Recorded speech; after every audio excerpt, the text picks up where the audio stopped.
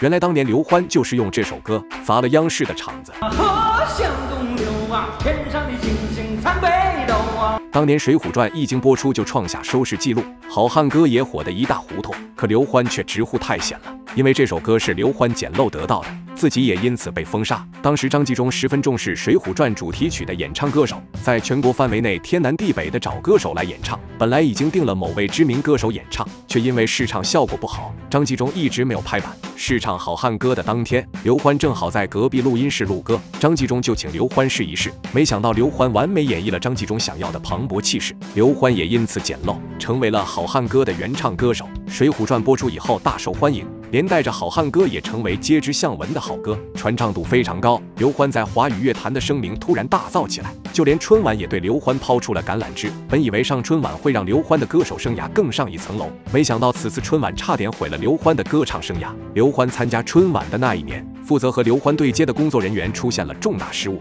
导致刘欢到达现场的时间晚了。主持人报完幕，刘欢才刚刚赶到，刘欢因此被媒体用耍大牌来形容。如果只是单纯的迟到，还不至于被官媒点名封杀。真正让央视点名封杀刘欢的原因，是刘欢在春晚演唱完以后，大闹了央视的后台。刘欢称自己带来表演的背包不见了，于是，在央视翻天覆地的找。在央视大闹特闹，所以才会被央视拉入黑名单。此后的很长一段时间里，刘欢再也没能接到央视的工作邀约，甚至央视在转播其他地方电视台的晚会节目时，有刘欢出现的画面都被央视进行了处理，要么是只有歌声出现，要么就是只有三分之一的刘欢身子出现在画面，也坐实了央视要封杀刘欢的消息。要说刘欢艺德不好，爱耍大牌，导致央视封杀刘欢倒也不至于，因为刘欢此前还曾经为中国好声音的学员发声，该名学员和刘欢并无过多的交集，在华语乐坛的发展也说不上好。刘欢力挺该学员，完全是对该节目的弄虚作假看不过眼。导师是真想当导师来的，结果给剪成演员了。对，结果最后把这些都不要，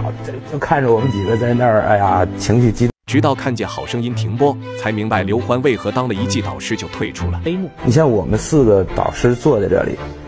就光给我们四个人的至少八部摄像机，你的任何一秒钟的东西。他都可以拿出来，在后面剪接的时候给你用。中国好声音节目的比赛有黑幕，几乎是公开的事实。前段时间李玟生前的一则录音，更是直接将好声音的遮羞布扯开了。李玟对好声音节目强有力的控诉，让公众和业界再也无法忽视好声音的弄虚作假。而刘欢此前录完好声音第一季，再也没有出现在好声音的舞台，就是因为好声音的黑幕太多，得不到刘欢的认可。刘欢做音乐是认真的，挖掘有实力的歌手自然也是认真的。可是这一点和好声音节目组的理念相悖。好声音节目组只想捧自己人，对于不是自己人的歌手，自然是直接淘汰。这才有了李玟录音中质疑七十多分的学员都可以有第二次机会，而他八十多分的学员没有。李玟的生前录音和刘欢退出好声音的举动，切实的说明了一个问题：好声音这类音乐综艺节目一点也不真实，能选成冠军的背后都有人。刘欢的退出，让好声音节目的口碑一度崩塌。关于好声音的黑料也在不断涌出，足以证明刘欢在华语乐坛的地位有多么超然。别以为公开炮轰好声音节目组，就是刘欢为了维护乐坛公平环境唯一做的事。刘欢还曾经把好声音节目组告上法庭，维护自己音乐的版权，让好声音节目组知道，并不是所有人都会欺软怕硬。刘欢可是不服输的硬骨头，对真理向来是极力维护的。除了爱惜会唱歌的人才。对于不公的事情敢于公开发声以外，刘欢在做善事方面也从来不甘于人后。二零零八年的汶川地震，相信大家都还记得情况有多么惨烈，全国各地的名人名言纷纷献爱心捐款，刘欢也不例外。刘欢的捐款简单直接，并没有来支票或者转账那一套虚的。而是直接扛着一袋钱来到捐款的慈善晚会，直接把钱全部投入了捐款箱。经过现场工作人员点算，这袋钱足足有五十万。可见刘欢确实心系灾区的人民群众，想要通过实际行动来给予他们一定的支持。正是因为刘欢这些年来在华语乐坛所说的话、所做的事都十分正面，也彻底让央视对刘欢改观，官媒对刘欢的改观，也让刘欢的事业有了质的飞跃。北京人在纽约的主题曲，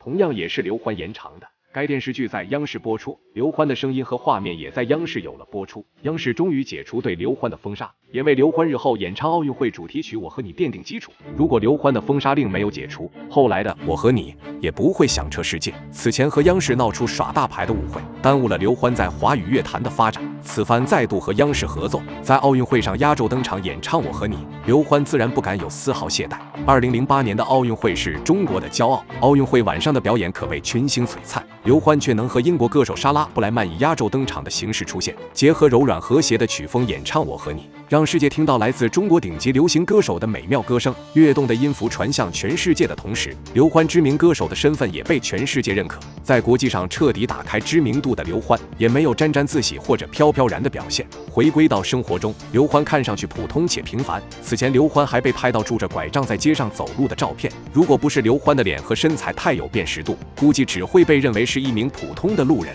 在生活中的刘欢和普通人无异，在舞台上的刘欢却光芒万丈。此前，刘欢参加《我是歌手》音乐节目，曾经获得过歌王的好成绩。以刘欢在歌坛的地位和实力，根本不需要参加任何的音乐比赛节目。但是刘欢没有止步于自己现有的成绩，而是选择卖出去，和更多的实力歌手 PK，提升自己的歌唱实力，也让更多喜欢听自己唱歌的歌迷能有一饱耳福的机会。现在的刘欢已经鲜少出现在公众视野前，并不是刘欢不喜欢唱歌或者不唱歌了，而是刘欢的身体条件不允许。因为刘欢太喜欢喝酒，导致身体出现了问题，甚至患上了不死癌症。原本乌黑的一头长发，现在已经变得花白。刘欢肉眼可见的沧桑了许多，这才有了前面娱乐记者捕捉到白发刘欢街边拄拐杖的照片。刘欢有多喜欢喝酒呢？为了尽可能多喝好酒，刘欢在自己家的地下室专门划出一块地方来藏酒，酒窖里面放满了来自世界各地的名酒好酒，地窖还设置了一个用于喝酒的吧台，甚至比外面的酒吧看上去还有氛围感。置身里面确实很想要一直喝下去，酒精对人脑的神经损害非常大。刘欢的妻子也曾经劝说他戒酒，特别是在已经患病的情况下，戒酒是非常必要的。但是刘欢丝毫没有理会，觉得做人享受当下才是最重要的。学法语出身的刘欢，最后成了华语乐坛的知名歌手，全赖刘欢本身过人的音乐细胞。后来收到古建芬老师的赏识，才逐渐打开了在华语乐坛发展的道路。古建芬老师在音乐和识人方面的才能十分厉害，不仅能挖掘出刘欢这样的知名歌手，毛阿敏、那英等知名歌手也是出自古建芬的门下。这些年来，刘欢在华语乐坛摸爬滚打，有过巅峰时刻，也有过低谷的时候。刘欢没有忘记初心，低谷的时候依然砥砺前行，努力练好唱歌的基本功，才能迎来现今在华语乐坛大哥大的地位。不管刘欢未来是继续唱歌还是不唱歌，华语乐坛永远有他的一席位，歌迷也不会忘记刘欢那些年给大家带来的优秀音乐作品。